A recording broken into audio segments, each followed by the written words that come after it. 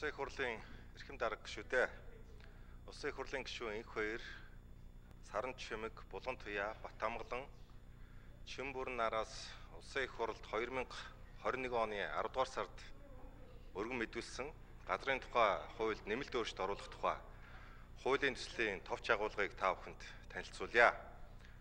Хууль санаачлагч бид газрын тухай хуульд дараах гурван үндсэн багц асуудлыг шийдвэрлэх зорилгоор өөрчлөлт оруулахаар санаачлалаа. Нэгдүгээрт нийтийн орон сууцнд амьдарч байгаа иргэдэд орон сууцныхын доорх болон орчны газрыг хувь ноогдуулж хязгаартаагаар эзэмшүүлэх үзэл санааг одоо санал болгож байна.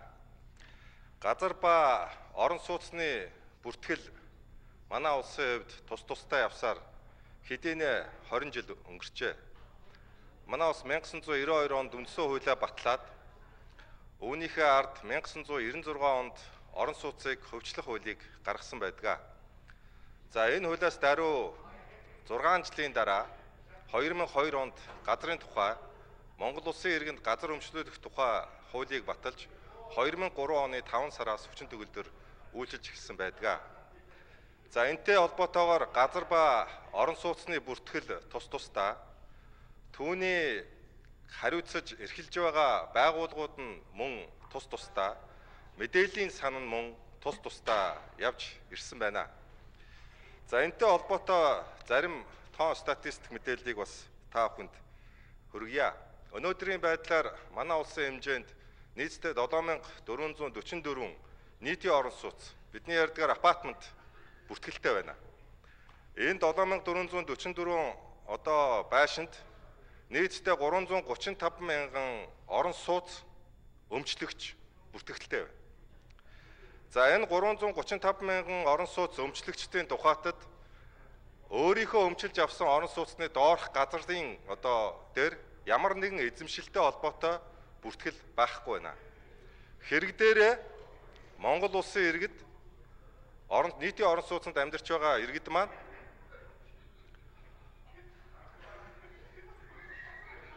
орон сууцны иргэд маань за хурлын дарга сайжууд хараад ирсэн. А нийтийн орон сууцны өмчилж байгаа иргэд маань бол одоо яг газартаагаа холбогдсон ямар нэгэн эрхийн бүртгэл одоо байхгүй шуудхан идэхэд одоо агаар дээр тоосог өмчлөөд байж байгаа маа. Монгол улсын иргэний тухай хуульд одоо 2002 онд баталсан гол үзэл баримтлалд бол юу гэж байгаа вэхээр газар түүнээс салгамт зориулт нь өөрчлөгдөх бүх хөрөнгө бол үл хөдлөх хөрөнгө юм аа. Газар ба орон сууц бол нэг хөрөнгө юм аа гэдэг энэ үзэл санаа 2002 онд батлагдсан.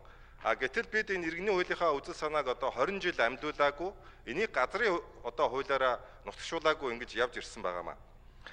За хуульд санаачлагчд бид бол орон сууцны доорх газрыг хувь ногдуулж эзэмшүүлнэ гэж байгаа. За энэ бол өмчлүүлэх тухай асуудлыг бол огт хөндөөгүй Өмчтөл гэдэг бол одоо туйлын абсолют одоо эрхийнхээ хувьд бол тухайн өмчийн одоо бүрэн эзэн байж түүнийг худалдах, өвлүүлэх, захиран зарцуулах бүх талын одоо туйлын эрхтэй байдаг. Харин дундын өмчлөлт хязгаартаагаар эзэмшүүлэх асуудал гэдэг бол тодорхой нөхцөлтөө, болцолтой, мөн хязгаартай дундын одоо өмчлөлтөө байх юм үзэл санаа байна. Эзэмшил бол өмчлөөс өөрөө. Эзэмшил бол хугацаатай. Монгол улсын иргэний хууль болон газрын тухай хууль зааснаар Монгол улсын иргэнд газрыг эзэмшүүлэх ерөнхий хугацаа 15-аас 60 жил байгаа. Нэг удаа 40 жилээр сунгах боломжтой. Хамгийн дээдлийн газар эзэмших боломжит хугацаа бол 100 жил байна. Тэгэхээр өнөөдөр саяны хэлсэнчлэн 7444 орон одоо орон сууцнд орон сууц өмчилж байгаа 335 мянган иргэдийн тухайтад газартай холбогдсон ямар ч эрхийн хамгаалалт байхгүй.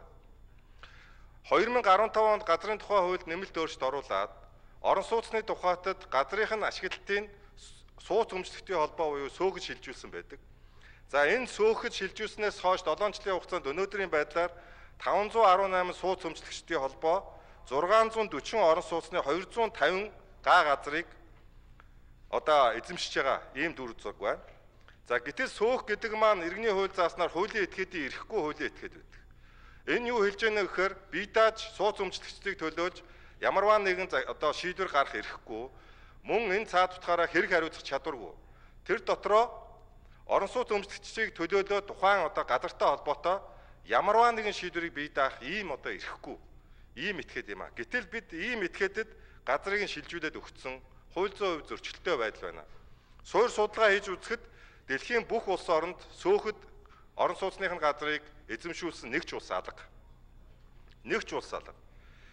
За энтэй холбоотойгоор 7 жилийн хугацаанд ямар зөрчил дутагдлууд гарч ирсэн гэхээр сөөхийн гүйцэтгэх захирал тухайн одоо орон сууцны дундын эзэмшлийн одоо газар дээр буд сөг автомашины талбай газар дээр дураараа захин одоо тэнд оролцох газрын 8-нд оролцох ийм зөрчил дутагдлууд нийтлэг одоо гарч байгааг сууц өмчлөгчдийн холбооны дээд зөвлөл болон барилга нийтийн төвийн одоо хамтарсан 2015 онд хийсэн шалгалтаар тогтоогдсон ийм байна. За бидний хувьд хоёр дахь одоо санал болгож байгаа хувилбар юу вэ нөхөр дуусаагүй барилгад үл хөл хөрөнгийн гэрчлэгээ олгож байгаа асуудлыг хориглоё гэж байгаа.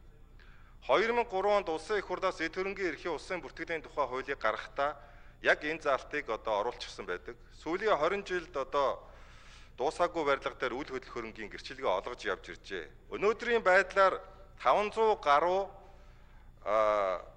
дуусаагүй барилгад үл хөдлөх хөрөнгө гэрчлэгээ олгосон байгаагаас тал нь Баян зүрх болон хаан улд үүрэгтэй. Тал нь. За эдгээр нэг 120 орчим одоо банк санхүүгийн бус байгууллагт одоо тухайн дуусаагүй барилгын гэрчлэгээ аваад барьцаан зээлээ тавиад зээл авч ингэж явж байгаа ийм одоо асуудлууд байна. За энтэй холбоотой хууль зүйн одоо сөрөг үр дагаврууд гарч ихэлсэн. Тухайн барилгын одоо компани 100% орон сууцныхаа захиалгыг аваад одоо мөнгөө төлцсөн орон сууц өмчлөгч иргэдэд орон сууцных нь ордерыг өгөхгүй байна. За ийм авч чадахгүй байгаа иргэдийн тоо бол одоо сүүлийн үед улам их нэмэгдэж байгаа ийм дүр зураг байна. За ер нь албан бус тооцоогоор нэг 50 орчим мянган иргэдийн асуудал энд яригдж байна. Нэлээд олон их найдын одоо хөрөнгө мөн одоо баталгааж энээс болж одоо хогсож байгаа ийм асуудал бас яригдж байна. Миний сонгогдсон Баянзүрх дүүргийн 26 дугаар хороонд гэхэд одоо парк уу гэж хотхон дээр 300 гаруй айлууд 100% орон сууцныхаа төлбөрийг төлчөөд 3 жил үл хөдлөхөрөнгийн гэрчлэгээ авч чадахгүй байна. Хамгийн их нь хаан уул дүүргийн одоо хаан уул дүүрэгт байрлалтай Монгол таавн гэж хотхны 2000 орчим оршин суугчид 100% орон сууцныхаа төлбөрийг төлчөөд орон сууцныхаа өмчийн эзэн болохыг баталгаажуулсан гэрчлэгээ авч чадахгүй 8 жил болж байна. Одоо ямар асуудал сүлдээ яригдж байна вөхөр тухайн хотхны оршин суугчдыг нөгөө Кавказаахт нь барьцаасан банк нь шүүхтэд гаргах тухай асуудал эргэжж байна. Өөрөөр хэлбэл нэг өмч өмчд барьцаалж авсан банк нөгөө талд орон сууцныхаа төлбөрийг 100% төлсөн өмчийн эзэн жинхэнэ байж байх ёстой. Иргэн хоёрын тулааныг бид хуулиар 2003 онд бий болгож өгсөн байна. Тийм учраас ийм одоо завших иргэдийн өмчлөх эрхийг одоо зөрчих ийм боломж олгосон хуулийн одоо хийдлийг бид хаах ёстой гэж ингэж үзсэн.